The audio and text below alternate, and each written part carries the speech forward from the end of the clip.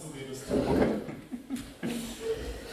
Ja gut, dann ähm, sage ich herzlich willkommen zu diesem äh, chaotisch zusammengestellten Vortrag gestern Abend slash heute auf der Zugfahrt, also erwartet nicht zu viel.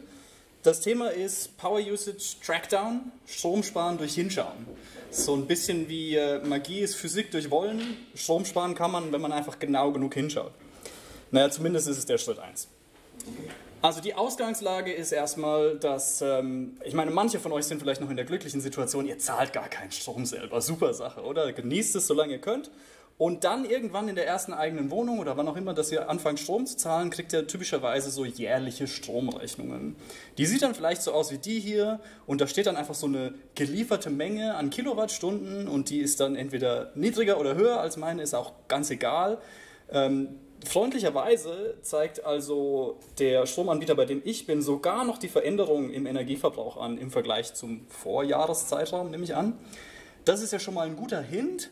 Aber mir ging das irgendwie nicht weit genug. Also wenn ich wissen möchte, wo geht eigentlich der ganze Strom hin und wo kann man eigentlich noch was einsparen, dann ist ein Feedback-Zyklus von mach irgendwas, warte ein Jahr und schau auf die Rechnung und dann vergleich die Rechnung mit den alten Rechnungen, die du bestimmt alle aufgehoben hast, vielleicht nicht der beste Feedback-Zyklus. Dann dachte ich, naja, also das geht bestimmt auch genauer. Oder ich schreibe denen einfach mal, die haben bestimmt ein total cooles Portal, was ich einfach noch nicht kenne, wo bestimmt so ein Live-Graph ist, der dann so hoch und runter geht. Oder zumindest genauere Verbrauchsdaten. Weil irgendwann ist mir aufgefallen, so hey, diese Rechnungen, die ich da im sogenannten Electronic Bill Verfahren bekomme, die sind nur 180 Tage bei meinem Bankpostfach und dann sind die weg. Und ich habe es blöderweise verpennt, mir die alten Rechnungen zu holen. Und dann habe ich also nachgefragt und dann dachte ich so, hey, vielleicht ist das Problem gleich gelöst. Und einen Monat später haben sie mir dann das zugeschickt. Und äh, wer jetzt genau hinschaut, der erkennt, ach, das ist wieder diese Kilowattstunden Verbrauchszahl pro Jahr. Diesmal gerade noch so aufgeschlüsselt in äh, Menge äh, Haupttarif und Nebentarif. Das steht aber auch auf der Rechnung eigentlich schon drauf. Aber hier ist es immerhin tabellarisch, super, okay. Und übersichtlich, naja, einigermaßen. Aber wer jetzt dann ganz genau schaut, 2020 bis 2017. Da sind ja die alten Verbrauchsdaten auch gar nicht dabei, weil in die Wohnung bin ich eingezogen 2013. Also weiß ich immer noch nicht so genau, okay, was, was ist jetzt eigentlich Sache? Vor allem ist es auch nicht live. Die Lösung ist also natürlich folgende. Ihr nehmt euren ganz normalen Sicherungskasten, hier Beispiel mein Sicherungskasten, und aktiviert die Glow-in-the-Dark-Funktion. Bedeutet, hier ganz rechts baut ihr so ein schön leuchtendes Energiemessgerät ein. Und dann könnt ihr euch immer freuen, wenn ihr nachts im Gang steht, weil dann leuchtet der Sicherungskasten so grünlich. Sieht ziemlich cool aus. Ähm, was genau ist es? Es ist ein äh, Energiemessgerät, äh, in diesem Fall von Shelly. Äh, Shelly ist so ein, ich glaube, bulgarischer Hersteller, der ganz viele so IoT-Devices macht, die DIY-freundlich sind. Also ihr könnt dann mit denen einfach basteln. Ähm, deswegen finde ich einige Geräte von Shelly ziemlich cool. Manche nicht ganz so, aber das könnt ihr in meinem Blog genauer nachlesen oder mich fragen. Aber was jedenfalls hier passiert ist, man sieht äh, hier so auf ganz rechts auf dieser Schiene ist montiert zusätzlich das Shelly-Gerät und das hat dann hier so diese drei ähm, Wandler. Und diese Wandler werden also übergestülpt über die verschiedenen Stromphasen, die in eure Wohnung reinkommen. Äh, in diesem Bild sieht man jetzt zum Beispiel diese drei Messwandler, die über drei Phasen gehen. Bei mir in der Wohnung gibt es nur zwei Phasen, weiß nicht, ob das jetzt irgendwie schlimm ist, aber also alles scheint zu gehen. Ähm, das äh, lässt ihr machen und dann, also am besten von einem Elektriker, außer ihr seid selber Elektriker per Zufall, aber sonst bitte von einem Elektriker. Ähm, und dann könnt ihr dieses Shelly-Messgerät äh, in ein MQTT-Setup einbinden mit der Standard-Firmware. Also ihr müsst da gar nichts basteln oder so, das ist einfach ein Feature, was die von Haus aus haben. Und das ist natürlich super für Bastler wie uns. Äh, in meinem konkreten Fall habe ich mir dann also so einen Raspberry Pi genommen und habe dort einen MQTT-Server installiert und dann habe ich äh, einen ganz kleinen Adapter für Prometheus geschrieben. Also einen Adapter, der quasi die Messwerte von MQTT bezieht und für Prometheus zur Verfügung stellt. Äh, Prometheus ist so ein Monitoring-System. Der Adapter ist auch wirklich nur 10 Zeilen, das ist wirklich sehr einfach. Ähm, und dann benutze ich Grafana zur Auswertung der Daten, die in meinem Prometheus-Setup gespeichert sind. Ihr müsst es jetzt auch gar nicht alles en Detail verstehen. Das Wichtige ist, hinterher hat man so einen Graph. Und das ist jetzt also die Auswertung mit Grafana und das war also mein erster Versuch. Ja, das war so der erste Graph, den ich mir gebaut hatte. Ich habe mir geschaut, ich habe mir angeschaut, was kommen da für Messwerte raus Und äh, die spannendste Zahl fand ich eigentlich sind die Meter Power Watts, also wie viel Watt denn gerade im Moment verbraucht werden. Es gibt auch noch so einen Zähler, der einfach kontinuierlich hochläuft, sodass auch ohne, dass man ständig abfragt oder mitmisst, dass man auch äh, korrekte Verbrauchsdaten über eine längere Zeit äh, sehen kann. Und ähm, dann gibt es noch so ein paar andere Werte, deren Nützlichkeit sich mir nicht so ganz erschließt. Zum Beispiel so die aktuelle Frequenz vom Strom. Ich meine, ja, die schwankt dann immer so ein bisschen und ich schätze, wenn es mal irgendwie einen katastrophalen Zusammenbruch des Stromnetzes in Europa gäbe, dann würde man da einen ganz spektakulären Abfall oder Anstieg oder beides oder was auch immer sehen. Aber wozu man den sonst so analysiert, zumindest in meinem Privatverbrauch, keine Ahnung. Naja, jedenfalls äh, sieht man hier also so äh, Stromverbrauch. Und jetzt die Quizfrage, das ist der Stromverbrauch von mir gestern Abend. Was sind die Ausschläge? Irgendwelche Ideen? Waschmaschine, gute Idee, ja. Ist es nicht ganz, aber fast. Geschirrspüler? Dann ist es der Geschirrspüler, genau. Also da hat man, sieht man also 21 Uhr 45 oder so fällt mir ein, verdammt, ich fahre morgen zum Chaos-Treff und es ist schmutziges Geschirr im Geschirrspüler, noch schnell einschalten. Der verhält sich dann so, der muss natürlich erstmal Wasser aufheizen, das ist der erste Spike, den man sieht, dann macht er irgendwie seinen Vorlaufwaschgang, dann kommt nochmal ein Spike, dann passiert der Hauptwaschgang, I guess, oder erst am Ende, oder am Ende wäscht er nochmal irgendwie drüber, ja, wie auch immer. Ist auch gar nicht so genau wichtig, aber man sieht so Ausschläge. Das Trocknen, meinst du, der macht Luft trocknen? Ich glaube nicht. Naja, anyway, also das ist, das ist so quasi das, der erste Versuch gewesen, oder? Das ist so das Level an Insight, was man da bekommt mit diesem einen Graph. Dann ein bisschen nützlicher ist vielleicht die Anzahl an Kilowattstunden pro Tag. Ähm, man sieht im Titel, leider ist es irgendwie off by one, weil alles kompliziert mit der Query API und so weiter. Aber ist auch ganz egal eigentlich, solange man halt einen Trend ablesen kann. Und äh, jetzt sieht man da so, okay, 9,x Kilowattstunden und dann geht es irgendwie runter auf 5. Was ist der Grund dafür? Ideen? AC. AC? Okay, gute Idee, nein? Wochenende, Woche. Das sind ja irgendwie 1, 2, 3, 4, 5 Tage mit weniger Verbrauch und dann die Wochenenden zu Hause bist. Ja, ja, ja, ja, ja. Nee, Waschmaschine hängt nicht an diesem Strommessgerät. Genau, also ja, das war schon fast richtig. Ich war letzte Woche in München und ich bin einfach nicht zu Hause in den 5,x Kilowattstunden. Das heißt aber auch, da sieht man dann sofort den Grundverbrauch, oder? Also wenn ich nicht zu Hause bin und trotzdem den ganzen Strom verbrauche, dann ist das auch schon mal eine wertvolle Information. So, dann auch interessant, schaut man doch mal einfach auf die Nacht, oder? Also man nimmt den Graph, den ich vorhin gezeigt habe und mhm. ändert einfach mal die Date Range. Da sieht man wieder so Zeug. Was ist das? Wer weiß es? Kühlschrank mit Inverter. Kühlschrank, ja, so ist es. Mit Inverter, das ist eine abfallende Kurve, sonst wäre er nicht eckig. Ah, okay. Man langsam die Drehzahl reduziert vom Kompressor, wenn er sich ein Ziel ernährt. Mm, ja, ja, gutes Detail, schön, ja. Genau. genau, also man sieht immer, der Kühlschrank dreht immer so eine halbe Stunde auf und dann ist er wieder eine Stunde still und dann wiederholt sich das ganze Ding. Genau, und dann kann man aber sonst auch hier noch schauen, okay, 140 Watt ist so der Grundverbrauch sogar in der Nacht. Ähm, auch vielleicht schon mal ein interessantes Ding. Dann kann man auch folgendes Spiel machen. Dann kann man sagen, okay, turn everything off and on again, aber langsam. Man kann dann also den EM3 auslesen und einfach mal wirklich alles abschalten. Alle Sicherungen raus, ich habe dann festgestellt, okay, nicht alle die Sicherung, an der der EM3 angeschlossen ist, muss man schon noch drin lassen, sonst geht es nicht. Das andere Problem ist so ein bisschen das Henne-Ei-Problem. Wenn man wirklich alles ausschaltet, dann läuft auch das WLAN nicht mehr und dann kann man auch das Messgerät nicht mehr ansteuern. Und wie macht man es? Was mir dann gekommen ist, ich hatte mir vor einer Weile so einen mobilen Wi-Fi Access Point geholt, aus anderen Gründen. Der ist batteriebetrieben, das heißt, ich habe einfach mein Wi-Fi quasi ausgeschaltet und dem Mobile Access Point gesagt, die SSID ist jetzt meine normale SSID. Das Strommessgerät verbindet sich dann mit dem und dann nimmt man einfach einen Laptop, das ist ja auch batteriebetrieben und dann, so kann man es also machen. Dann, okay, alles klar, alle Geräte von allen Steckdosen trennen, alle Sicherungen raus. Wie gesagt, außer die Sicherung, an der das Messgerät hängt. Ähm, und dann strategische Geräte früh wieder einschalten. Mir ist dann nämlich aufgefallen, die Philips Hue Smart Lights, wenn man da also den Strom wegnimmt und wieder einschaltet, dann gehen sie erstmal an. Aber dann kann man sie ja nicht ausschalten, bevor man nicht die Sicherung wieder eingeschaltet hat, an der das Gateway hängt, mit der man die Lampen kontrolliert. Also so gibt es dann so ein bisschen zirkuläre Dependencies. Man muss sich also ein bisschen überlegen, so okay, wenn ich die alle ausschalte, welche schalte ich dann in welcher Reihenfolge wieder an und was will ich eigentlich messen. Aber dann kann man das ganze Spiel mal durchspielen und wirklich schön sehen, okay, das sind so die einzelnen Dinge und vor allem, was man unterscheiden kann, ist, wenn also alle Geräte aus allen Steckdosen draußen sind, sieht man auch, was sind die fix installierten Geräte, nämlich so zum Beispiel IoT, Shelly Devices oder andere Smart Lights oder keine Ahnung, was ihr so zu Hause habt. Ähm, das ist dann natürlich auch alles mit erfasst. So, ich habe mir dann mal, also hier so, äh, mein, mein Sicherungskasten bin ich mal so durchgegangen, oder? Und habe die Gelegenheit auch mal genutzt, rauszuschreiben, was sind das eigentlich für Sicherungen, was ist eigentlich die Beschriftung und habe auch festgestellt, so, ah, hier ist irgendwie die Nummer 3, die gibt es irgendwie zweimal. Ähm, aber da ist, glaube ich, irgendwie einfach noch ein Neutralleiter geteilt oder, oh, keine Ahnung, ich bin kein Elektriker. Ja, genau. Also das, aber ja, wie auch immer. Ähm, jedenfalls, da kann man es dann also schön sehen, oder? Da kann man also, wenn man also alles ausschaltet und dann nur diese Sicherung jeweils wieder einschaltet, sieht man also der Backofen braucht 3 Watt, einfach so im Standby. Ähm, und dann gibt es hier zum Beispiel 15 Watt ähm, für fix verbauten Spaß und nochmal 5 Watt für auch fix verbauten Spaß auf der anderen Phase.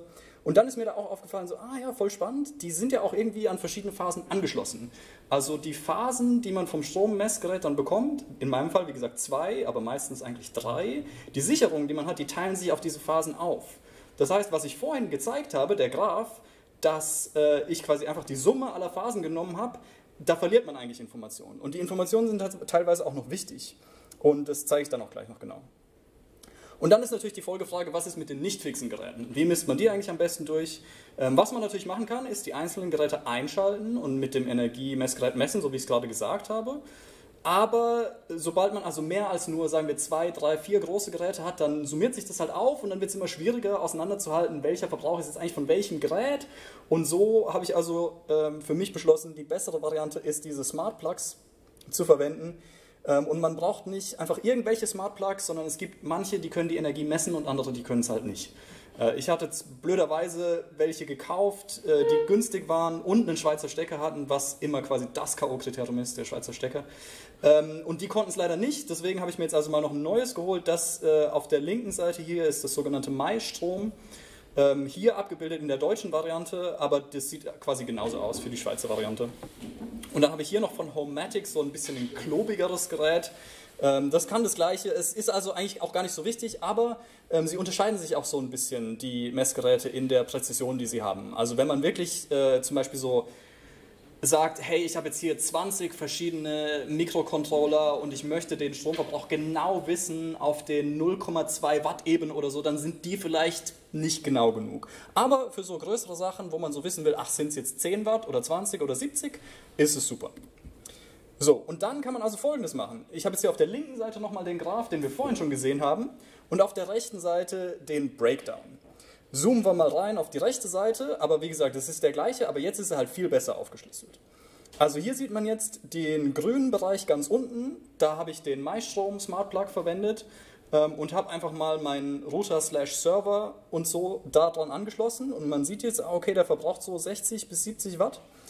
Dann habe ich äh, das Homematic Messgerät benutzt, weil ich habe mir noch mehr MyStrom bestellt, aber die sind noch nicht da, also habe ich einfach mal alle Messgeräte, die ich irgendwie habe, zusammengeschaltet und ähm, das ist jetzt also Netzwerk und WLAN und noch so ein bisschen anderes Zeug. Das verbraucht ca. 25 Watt. Und dann habe ich die beiden Phasen, aber diesmal getrennt voneinander. Und hier sieht man jetzt also, okay, die Phase 0 das ist die, an der sozusagen die rechte Seite meiner Wohnung hängt, mit allem Elektronikzeug. Und die Phase 1 ist die linke Seite meiner Wohnung, wo also Küche, Bad ähm, und diese ganzen Appliances wie Kühlschränke dran sind. Und hier sieht man jetzt also wirklich schön, dieser Spike, ähm, den wir vorhin schon besprochen hatten mit dem Kühlschrank, der ist also wirklich nur auf der einen Phase sichtbar. Und das heißt, man kriegt ein viel genaueres Reading von dem kompletten Breakdown, wenn man die andere Phase also separat anschaut. Das war also einer der Aha-Momente. Ähm, wenn ihr euch also selber irgendwelche Graphen baut, dann schlüsselt es doch mal nach den Phasen auf. Okay, also wir können jetzt messen. Und was machen wir jetzt mit den Messergebnissen? Im Wesentlichen gibt es drei Strategien. Entweder wir reduzieren den Stromverbrauch oder wir schalten das Gerät ganz ab. Und wo man es nicht ganz abschalten kann, können wir es immerhin noch in den Standby schalten. Also sagen wir Suspend to RAM für eure PCs oder keine Ahnung, wenn der Fernseher aus ist, dann hat er ja auch vorgeschrieben, nur ein bestimmtes äh, maximal 1 Watt oder was es ist. Ähm, und so kann man dann also Sachen äh, schön auf niedrigen Verbrauch haben. Und die Priorität von diesen drei Ansätzen sollte man natürlich nach dem höchsten Multiplikator richten. Was meine ich damit? Grundverbrauch hat also einen 24-Stunden-Multiplikator. Zum Beispiel, wenn man einen Arbeits-PC zu Hause hat und zu Hause arbeitet, hat man üblicherweise circa einen 8er-Multiplikator oder so. Ähm, und so kann man sich also schauen und priorisieren. Ne? Okay, ein interessantes Ding, was ich gelernt habe, ist ähm, die GPU, die ich verwende. Äh, stellt sich raus, wenn man sie mit Windows betreibt, dann läuft sie aus irgendwelchen Gründen viel stromeffizienter, nämlich nur mit 22 Watt, als wenn man sie mit Linux betreibt. Und das Problem ist spezifisch für den fetten Monitor, den ich da angeschlossen habe, weil mit diesem Monitor hat, die, hat der Grafikkartentreiber unter Linux falsch berechnet, wie viel Memory Bandwidth und Clock mindestens nötig sind und sich dann entschlossen, nur in den hohen Stromsparmodus zu gehen, also in dem, in dem halt wenig Strom gespart wird und nicht quasi maximal runter zu takten. Ähm, das war tatsächlich also ein Problem in dem Treiber. Ich habe es dann auch reported und die haben mir dann auch einen Fix geschickt, also wirklich einen Patch und haben gemeint, hier probier mal das aus. Habe ich ausprobiert, ging ziemlich nice. Ähm, und es stellt sich aber in dem Rahmen auch raus, dass wenn man hier vergleicht die Nvidia 3000er Generation im Vergleich zu der 2000er Generation, dann sieht man hier auch einen krassen Unterschied, oder? Also selbst unter Windows mit funktionierendem Treiber verbraucht die einfach mal fast 60 Watt, ähm, wo, sie, wo eine neuere Grafikkartengeneration nur 22 Watt verbraucht. Und das ist also wirklich im Idle und ist eigentlich nur zu Schulden der moderneren Architektur und Fertigung von der neueren Grafikkartenrevision.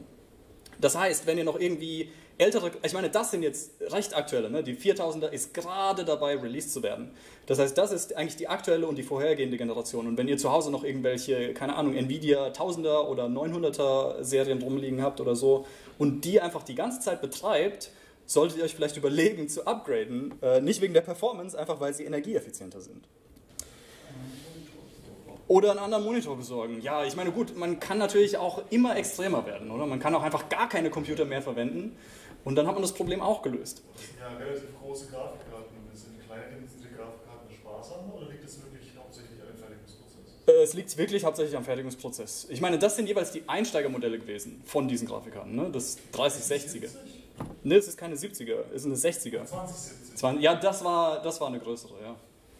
Ähm, aber das, ich glaube, die Peak-Performance ist gar nicht so wichtig tatsächlich von den Grafikkarten. Ich glaube, es geht wirklich um die Fertigung. Die kleinen müssen fast schon mehr brauchen, oder? Ja, allein der RAM, der da drauf ist. Oder die Memory. Du hast ja weniger RAM und äh, Die, Takt, die Takten auch nicht so hoch. Also die, der Bus ist natürlich so groß. Du hast Hälfte der Spannungswandler.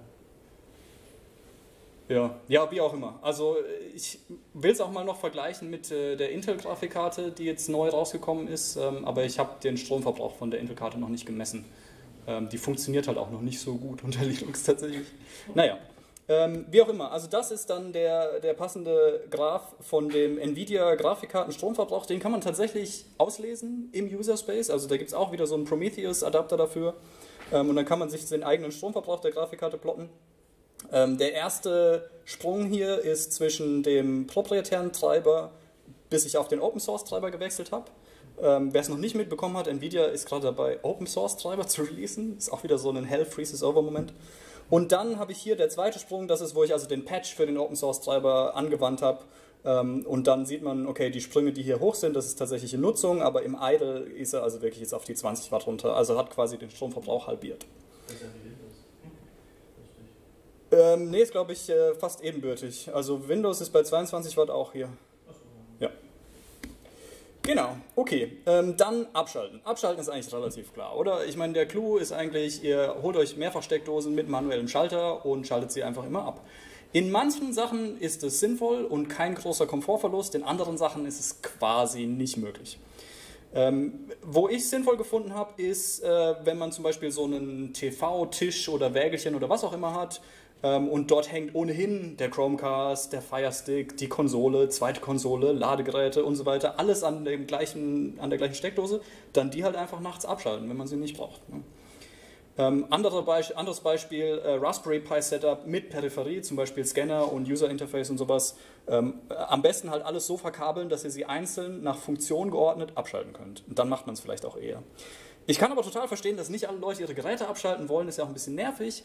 Es gibt daher auch eine coole Möglichkeit, mit Smart Plugs umzusetzen. Man kann also diese Smart Plugs auch so einstellen, dass ähm, sie den Stromverbrauch messen und wenn sich der Stromverbrauch senkt und dann unter einem gewissen Schwellwert liegt für genug lange, dann schalten die automatisch ab.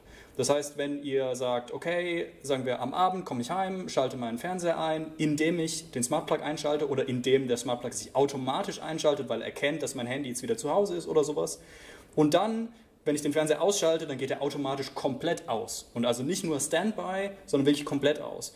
Und Standby läppert sich auch. Die Geräte sind gesetzlich spezifiziert auf weniger als 1 Watt, aber angenommen, ihr habt jetzt so sieben Geräte an der Steckdose, ne, es kommt halt was zusammen. Ähm, dann die andere Möglichkeit ist, wenn ihr was habt, was eigentlich wirklich gar nicht immer laufen muss, sondern nur on demand, ähm, dann könnt ihr das natürlich auch hinter einem Smart Plug hängen. Ähm, ich habe bei mir bemerkt, für das Go Crazy Projekt habe ich so einen Continuous Integration Setup, wo also zu, am Anfang war da nur einfach ein Raspberry Pi 3 dran, dann kam der 3B Plus hinzu, dann der Pi 4, dann noch ein PC Engines Board und einen Wi-Fi Router, als wir Wi-Fi Support hinzugefügt haben.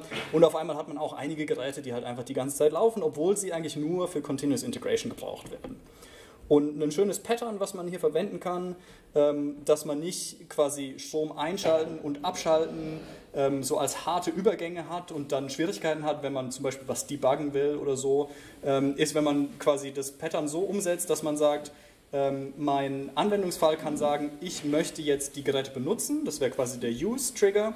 Und wenn er fertig ist, dann macht er einen Release, also sagt, ich bin jetzt fertig damit und dann schaltet man noch nicht direkt ab, sondern dann wartet man einfach 10 Minuten, checkt dann, gibt es noch andere Nutzer und wenn nein, dann abschalten und wenn ja, dann bleibt es halt einfach weiter an. Ne? Also einfach so mit so einer 10 Minuten äh, Dings hinten raus. Genau. Ähm, dann habe ich festgestellt, ähm, es gibt auch subtile Unterschiede zwischen Standby, so wie es der Hersteller gesetzlich also vorschreibt, und was so ein Monitor macht, wenn er einfach kein Signal hat stellt sich heraus, manche Monitore gehen dann in den Standby komplett und verbrauchen einfach wirklich weniger als ein Watt. Andere finden so, naja, da könnte ja gleich ein Signal kommen, ich muss zumindest noch 30 Watt weiter verbrauchen.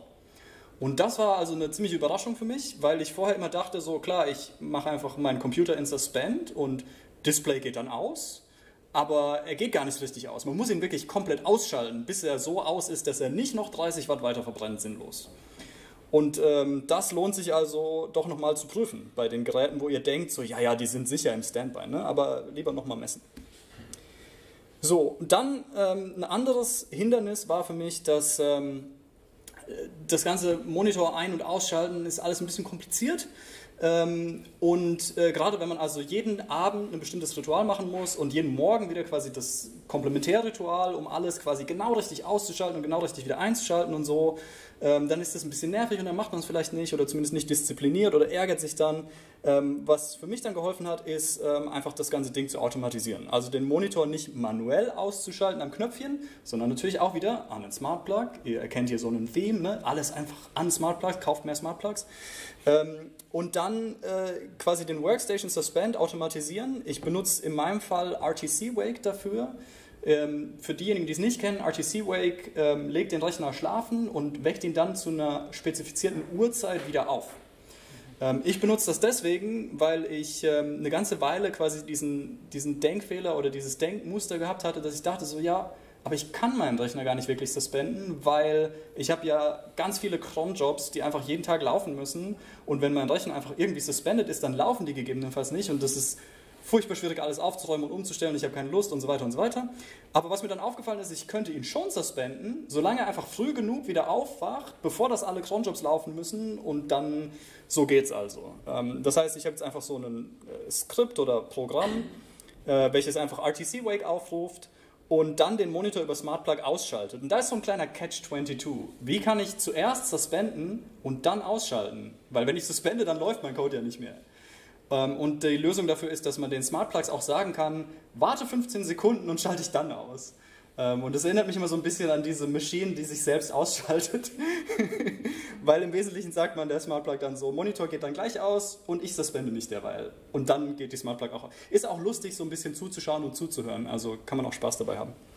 Genau, und dann am Ende passiert quasi das gegenteilige Spiel. Also der ähm, Computer wacht wieder auf und das Skript läuft dann weiter. Und dann sagt er also der Smart Plug jetzt bitte wieder angehen und konfiguriert dann den Monitor und dann ist auch wirklich immer alles in Ordnung. Was ist eigentlich mit diesen guten alten Master-Slave-Steckdosenleisten? Inwiefern? Also ich so seit ich weiß, nicht, 20 Jahren oder so Steckdosenleisten. Mhm. Da gibt es einen Anschluss, der nennt sich halt Master, ich weiß nicht, wie der heutzutage genannt wird. Ja. Ähm, da kannst du an einem Dreh, also so ein Poti kannst du einstellen, also Ah, Limit, ja. Strom für den Verbrauch. Ja. Wenn der äh, unterhalb von dem Limitverbrauch, dann gehen alle anderen Mhm. äh, Dinger aus. Ja. Und, ähm, Genau, also ich wiederhole es nochmal für die Aufzeichnung. Es gibt so Steckdosen, dort hat man quasi einen Hauptanschluss und äh, ganz viele untergeordnete und sobald der Hauptanschluss keinen Strom mehr zieht, gehen auch alle anderen aus. Das ist natürlich ein super Feature, gerade für PC-Setups mit Peripherie. Ähm, könnte man hier sicher auch verwenden. Geht auch ein bisschen in die Richtung von dem Smart Plug-Prinzip, was ich vorhin äh, erwähnt hatte, wo er halt auch einfach auf den Verbrauch schaut und dann entsprechend was regelt. Ähm, ja, ist sicher eine super Low-Tech-Lösung und wenn man so eine Steckdose finden kann, dann auf jeden Fall benutzen. Ne? Früher gab es die überall. Ja. Im Baumarkt oder beim Aldi ab und zu. Ähm, ich habe keine, keine Ahnung, jetzt irgendwie, ob die jetzt äh, besonders gut oder schlecht sind. Ich habe das Problem, dass die nach einer Weile kaputt sind nach ein paar Jahren. Mm, okay. Bei den Smartbox weiß ich auch nicht, wie lange es dauert. Ja, ja, weiß man natürlich nie, wie lange das hält. Ähm, ja. Da kann ich dir vielleicht noch umbauen. Okay.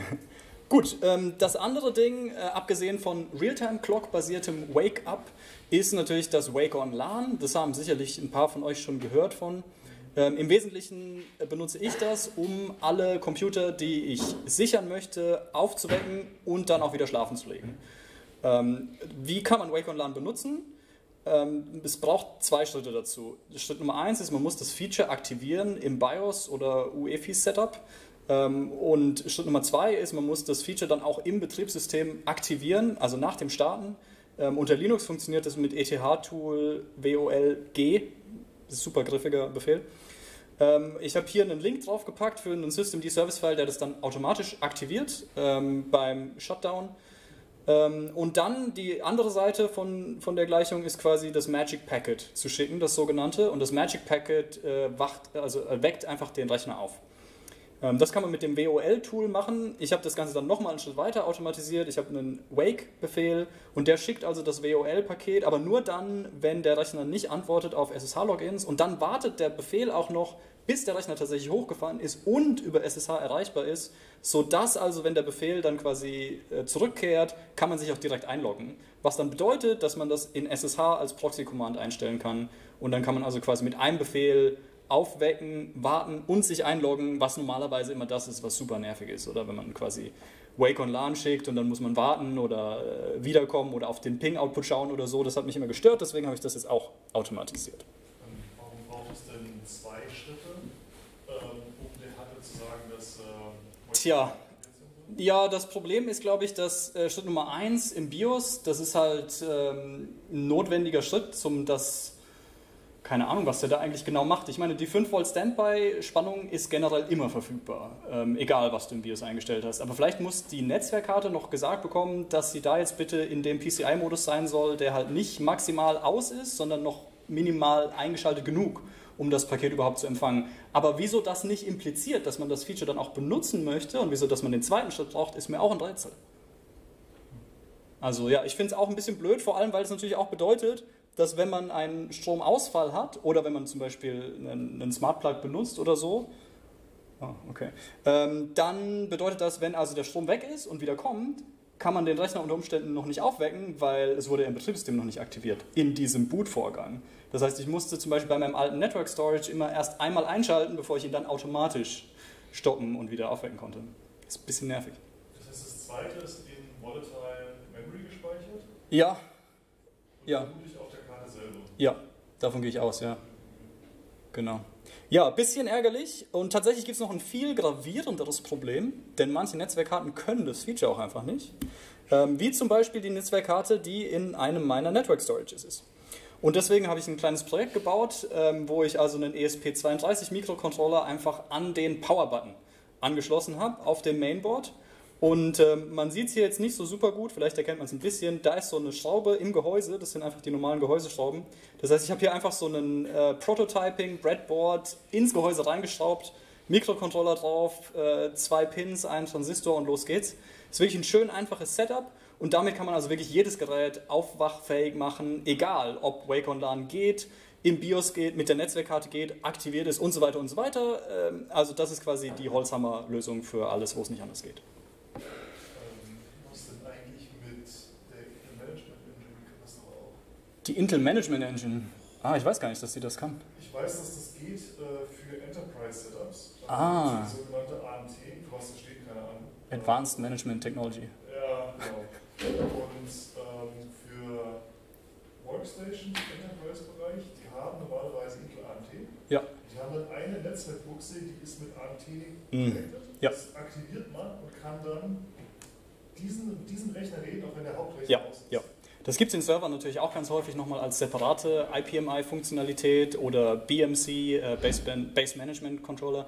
Ähm, gibt es ganz viele Möglichkeiten. Es gibt auch die Möglichkeit, eine zusätzliche PCI-Karte reinzustecken und so. Aber die, der Nachteil an der Lösung, sowohl mit dem Intel Management Engine slash AMT als auch mit allen anderen Möglichkeiten ist, äh, die erfordern natürlich, dass man da so ein Netzwerkkabel reinsteckt. Und in diesem konkreten Fall ist das Problem, dass die Netzwerkkarte ist eine Glasfasernetzwerkkarte und da geht nur eine 10 Gigabit Faser zu dem Rechner und gar kein RJ45 Ethernet-Kabel. Und das schließt natürlich viele Möglichkeiten aus. Und die Netzwerkkarte kann halt leider kein Wacom-LAN. Ähm, sonst hätte ich auch einfach gesagt, okay, steckst du halt noch ein Netzwerkkabel rein, nur für den Anwendungsfall des Wake-Up, aber das geht halt einfach in dem Setup nicht. Wir haben das halt mit einem Raspberry Pi gebaut. Also der Raspberry Pi ist sozusagen der Access Point. Ah, ja, ja, mit einem Raspberry kann man es natürlich auch alles bauen. Gut, ähm, so, und dann möchte ich euch noch ein paar grobe Richtwerte mitgeben, nachdem ich jetzt also alles da so ausgemessen habe.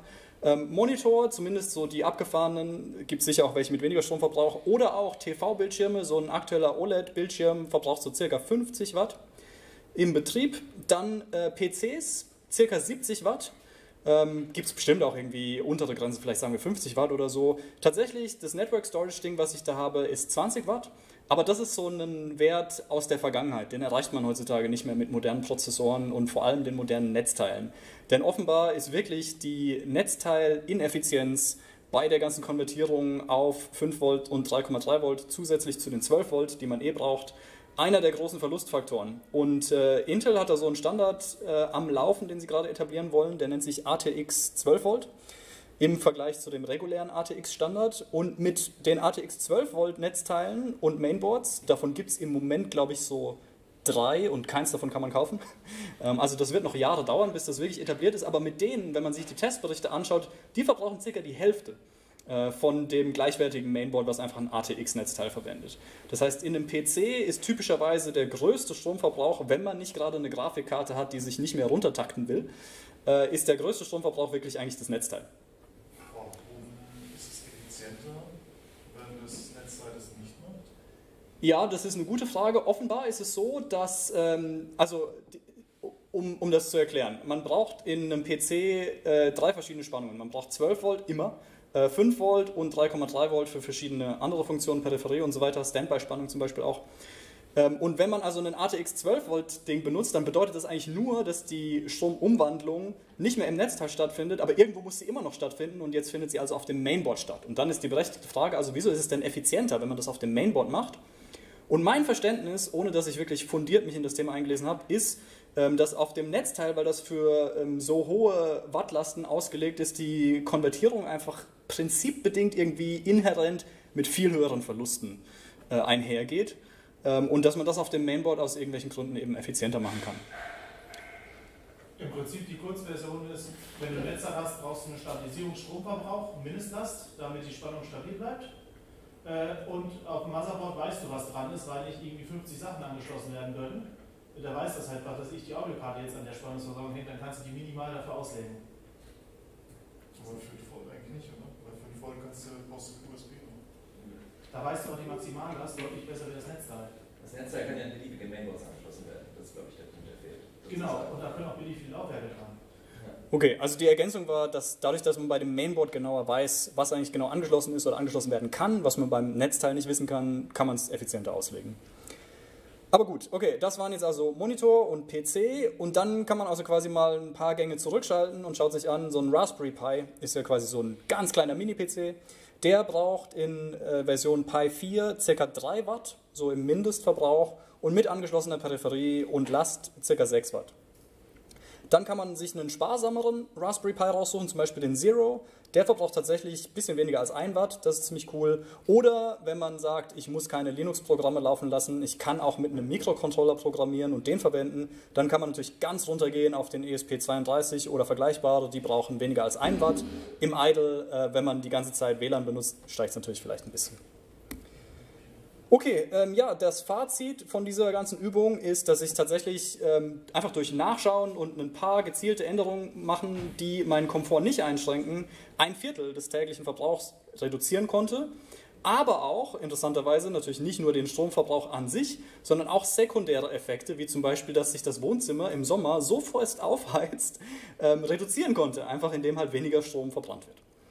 Ähm, außerdem kann ich jetzt eine viel bessere Einschätzung machen von typischem Stromverbrauch. Ich hätte zum Beispiel vor der ganzen Übung nicht sagen können, dass ein typischer PC ziemlich genau bei 70 Watt landet, ähm, weil ich zum Beispiel davon ausgegangen wäre, so, naja, wenn man so einen Laptop, wo man ja auch mal gelegentlich den Stromverbrauch optimiert, damit man längere Batterielaufzeit hat, der braucht ja so, keine Ahnung, im besten Fall 5 Watt, wenn es ganz modern ist, oder 10 Watt oder sagen wir mal 20, aber so ein PC hat halt durch das fette Netzteil einfach nochmal eine ganz andere Größenordnung. Ähm, und das war mir zum Beispiel vorher nicht so ganz bewusst. Ähm, und das Takeaway, was ich euch mitgeben möchte, ist, wenn ihr einfach Strom sparen wollt, um Geld zu sparen, dann müsst ihr den ganzen Aufwand natürlich nicht betreiben. Ne? Braucht ihr kein Energiemessgerät installieren, setzt einfach ein paar von den Tipps um. Ne? Einfach die Smart Plugs und Steckdosen, fertig.